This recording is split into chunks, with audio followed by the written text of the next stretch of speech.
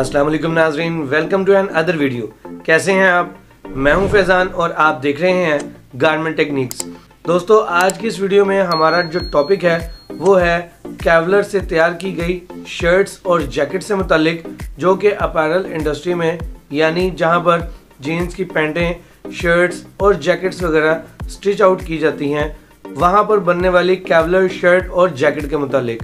तो इस वीडियो में हम बात करेंगे कि कैवलर डैनम की जो शर्ट और जैकेट्स होती हैं, वो अमूमन किस किस फैब्रिक्स में पहनी जाती हैं, इस्तेमाल की जाती हैं।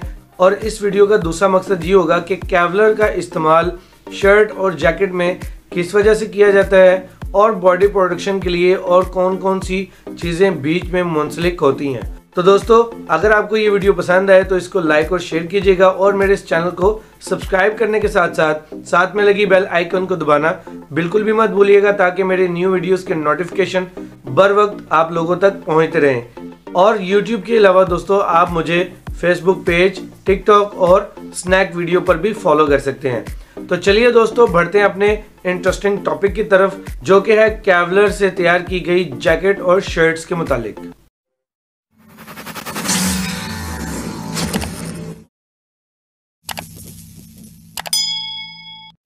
जी तो दोस्तों, कैसे हैं आप सब लोग? उम्मीद करता हूँ कि आप सब लोग खैरियत से होंगे। दोस्तों, ये जो वीडियो है, ये कैवलर से तैयार की गई, यानी कैवलर का इस्तेमाल करते हुए तैयार की गई शर्ट और जैकेट के मुतालिक है।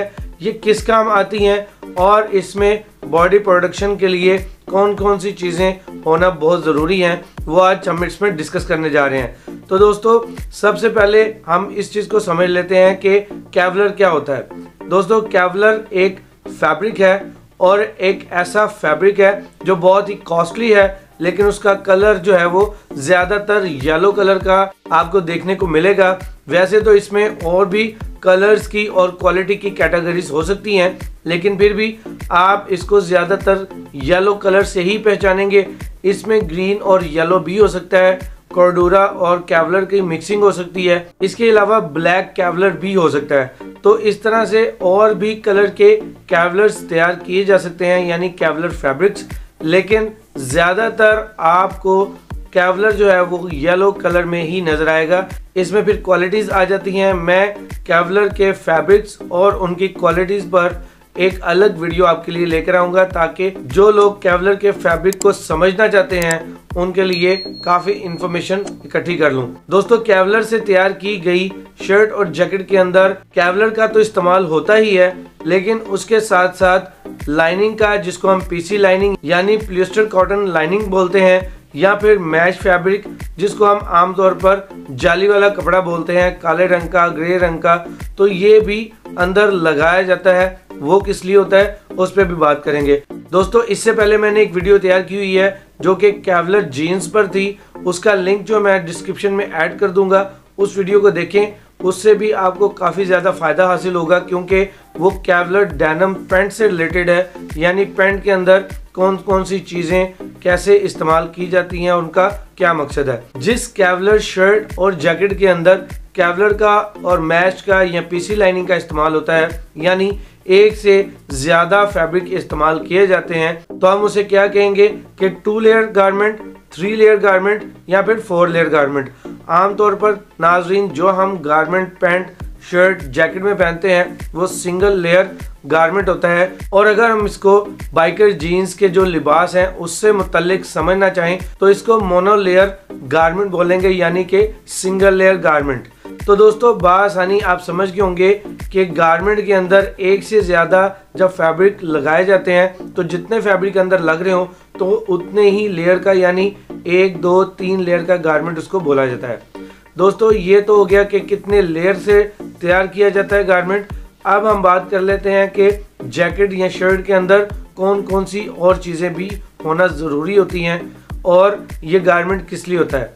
सबसे पहले हम समझ लेते हैं कि गारमेंट किस लिए होता है। ये जैसा कि मैंने आपको बताया कि बाइकर्स जीन्स होती है, यानी बाइकर्स जो कि बाइक राइडिंग करते हैं रेसिंग करते हैं, उन अफराद या उन लोगों के लिए ये ख़ास तौर पर गारमेंट तैयार किया जाता है, जो कि बॉडी की प्रोडक्शन के लिए होता है। कि खुदा न खास्ता, अगर कोई एक्सीडेंट हो जाता है या फिर वो गिर जाते हैं अपनी बाइक से किसी भी सूरत हाल में तो उनको ज़्यादातर अपनी बॉडी की जो है प्रोटेक्शन के लिए वो गारमेंट सेव कर सके, जहाँ तक हो सके। अगर आप वो शर्ट या जैकेट का इस्तेमाल नहीं करते तो बहुत ज़्यादा स्वेयर किस्म की प्रॉब्लम्स आ सकती हैं, यानी आपको फ्रैक्चर की प्रॉब्लम आ सकती है, आपको रगड़ या खराश या मेजर इंजरी हो सकती है।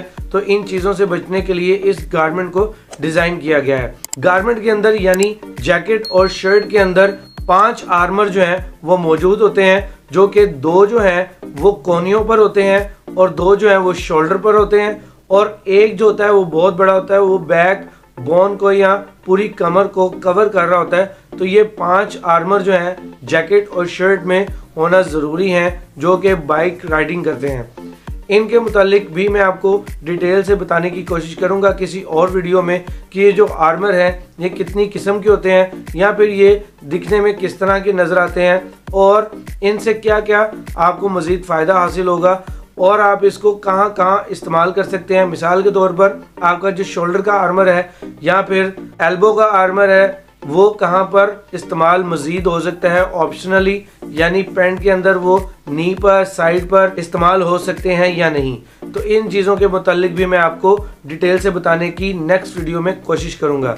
दोस्तों, ये जो गारमेंट है जैकेट और शर्ट जो कि बॉडी की प्रोडक्शन के लिए है, इसमें आपके लेबलिंग्स भी आ जाती हैं। ये जो लेबल होते हैं, ये बहुत ही खास होते हैं। आम तौर पर इनको इस्तेमाल नहीं किया जाता। मुख्तलिफ़ गारमेंट में जो कि आप रोज़मर्रा के लिबास इस्तेमाल करते हैं, पेंट है शर्ट है जैकेट है, लेकिन क्योंकि ये बाइकर्स जीन्स यानी स्पोर्ट्स गारमेंट है तो इसके लिए स्पेशल लेबल्स इस्तेमाल किए जाते हैं, क्योंकि इनके अंदर कैवलर मैश पीसी लाइनिंग और आर्मर का इस्तेमाल किया जाता है। तो ये अपने नोयत के अलग और स्पेशल गारमेंट होते हैं। इसलिए इनको वाजह करने के लिए किस क्वालिटी का और किस कैटेगरी का ये गारमेंट है तो उसको भी लेबल लगाना होता है।